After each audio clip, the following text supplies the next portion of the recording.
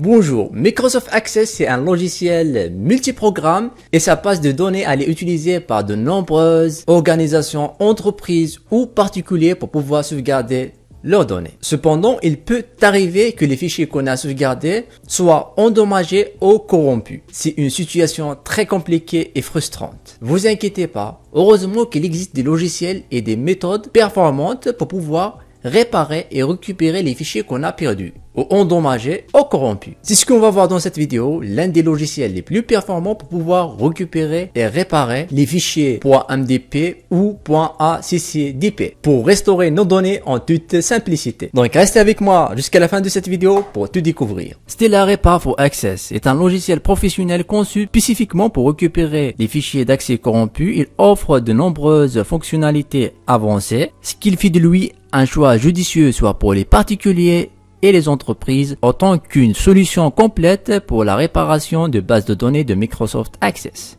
tels que les fichiers .accdp et les fichiers .mdp corrompu qu'on peut réparer avec ce fichier, non seulement la réparation, mais aussi la récupération des fichiers et des tableaux, requêtes, rapports, formulaires, index, la récupération aussi de macros, des modules de la base de données rationnelle, et cela dans plusieurs versions de Microsoft Office, soit 365, ou le MS Access des versions 2019, 2016 ou les autres versions inférieur. Et dans quel cas on peut utiliser le logiciel Repar for Access pour pouvoir réparer nos fichiers? Dans le cas où il nous affiche que l'information about metabase, les informations de la base de données, compacte et répare, donc il a échoué de les ouvrir avec des risques de corruption du fichier SSDP si on essaye de l'ouvrir. Donc, il vaut mieux utiliser le logiciel d'aujourd'hui pour pouvoir l'ouvrir et le réparer et les récupérer. Et aussi dans le cas où il nous affiche cette fenêtre, la base de données Access, elle est dans un état incohérent ou dans le cas aussi où il nous affiche Microsoft Office Access avec un format non reconnu. Donc ici, il est confronté à une erreur de format de données qui est non reconnu. Dans tous ces cas-là, le logiciel d'aujourd'hui va nous être très utile.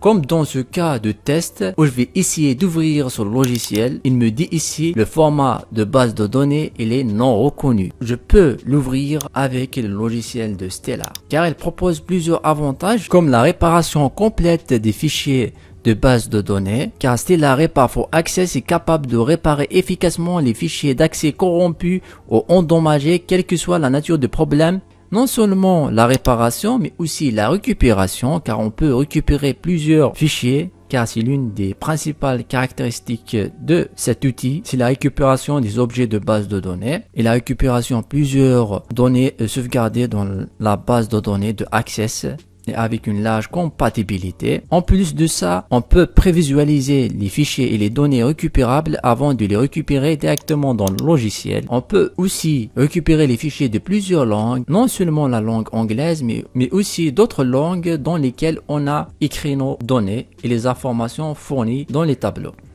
Pour commencer la récupération, il suffit juste de le télécharger et l'installer. Après l'installation, ici, on peut ouvrir notre logiciel. Comme vous le voyez ici, on retrouve une interface conviviale dans laquelle on peut sélectionner assez facilement et réparer assez facilement notre fichier Microsoft Access. Mais l'un des inconvénients qu'on retrouve ici, c'est qu'il est disponible juste dans la langue anglaise, mais c'est pas grave, c'est facile à utiliser, même si on comprend pas la langue, on peut les récupérer. Ici, pour pouvoir retrouver notre fichier, on a deux options, soit find pour pouvoir trouver le fichier, même si on connaît pas l'endroit exact dans lequel on l'a sauvegardé. Par exemple, téléchargement, je vais cliquer sur OK, télécharger, sélectionner le fichier et le réparer. La deuxième option, c'est dans Browse. Browse, ici, on peut naviguer, naviguer et sélectionner directement notre fichier de test, par exemple celui-ci et cliquer sur réparer. Ici, quand on a cliqué sur réparer, il va analyser le fichier, essayer de trouver les erreurs. Après cela, de le réparer, de l'ouvrir. Mais il faut savoir que la réparation peut prendre un certain temps. Ici, il nous dit que répare complète, la réparation elle est complète. Donc,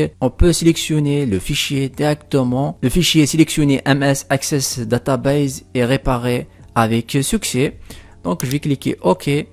Ici, maintenant, je peux prévisualiser les fichiers récupérables dans les tableaux ici. Voilà, on a récupéré ces fichiers là qu'on peut prévisualiser. Après la prévisualisation, on peut coucher et sélectionner les fichiers qu'on veut récupérer et ceux qu'on veut pas récupérer. Par exemple, ici, je vais juste récupérer le premier rapport et le premier form et ce tableau là. Donc maintenant que j'ai sélectionné les fichiers que je veux récupérer et réparer, je vais cliquer sur Save Database pour pouvoir sauvegarder la base de données, choisir l'emplacement, par exemple moi ici dans le bureau, et je vais cliquer sur OK, OK pour pouvoir les réparer. Il faut savoir que la sauvegarde prend aussi un certain temps. Maintenant, la sauvegarde est terminée et la réparation du fichier elle est faite avec succès. Ok. Essayez de l'ouvrir avec le logiciel original de Microsoft. Fermé. Et voilà, maintenant, j'ai pu l'ouvrir avec le logiciel original de Microsoft Access. J'espère que vous avez pu dépasser cette situation frustrante et que vous avez récupéré les fichiers et les données que vous avez sur Microsoft